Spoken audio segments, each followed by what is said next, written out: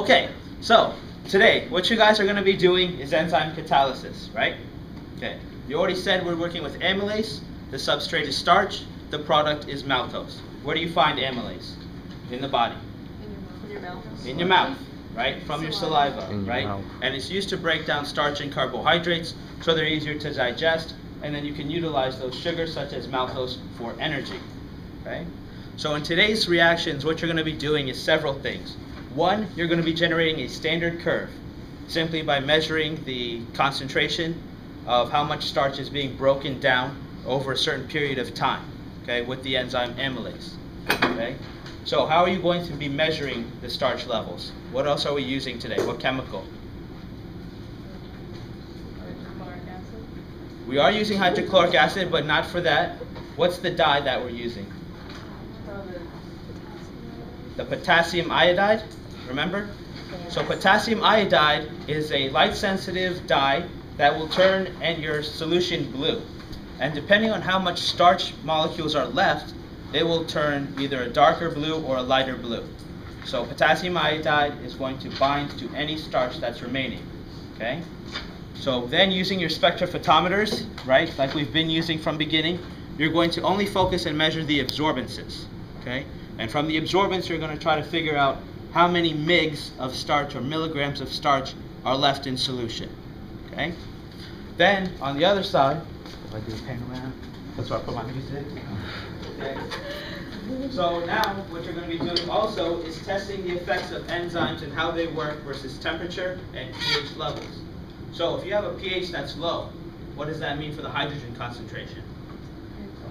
It's high, right? So a pH of 4 or 5 means there's a much more higher hydrogen concentration in that solution, okay? You're going to see how pH 4 and 5 affect the enzymes and how they function and how they work. Also pH 8 and 9, so where you have even a low or a higher hydrogen concentration, okay? Temperature also affects enzymes. So enzymes are made up of what? What are enzymes? Proteins. Essentially proteins, right? And proteins, their building block is what? Amino acids. Amino acids. Good. Okay. So if you uh, put your enzyme or any protein under high heat above body temperature, what happens? Denaturation, right? It's going to unravel. It's going to break apart.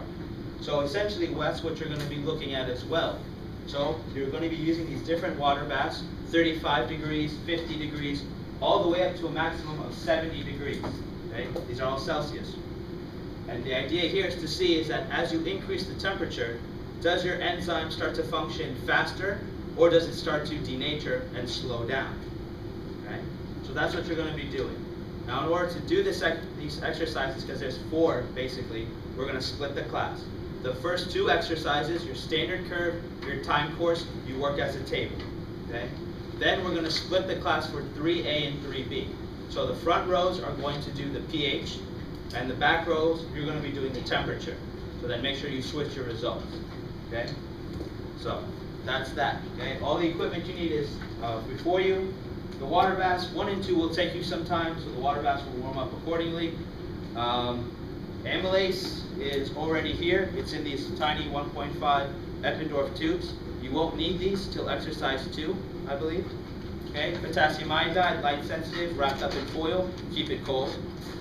Starch and your phosphate buffer six, which everyone is going to need for all exercises, is already here for you. Okay, you must wear gloves because today we are working with hydrochloric acid, as Aaron pointed out. And hydrochloric acid is extremely acidic. It's very dangerous. Okay, it is going to smell a little bit.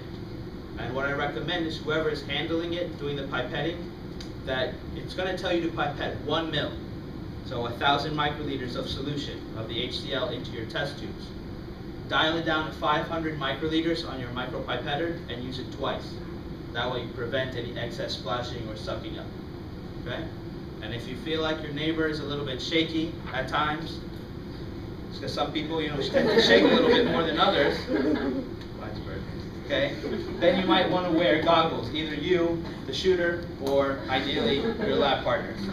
Okay? So that's what you're going to be doing today. So to start things off for exercise one, I want at least one person per table to come up to the sink, collect, I think you need six test tubes, Everyone else, start reading through the protocol and do what you need to do, okay? That's it.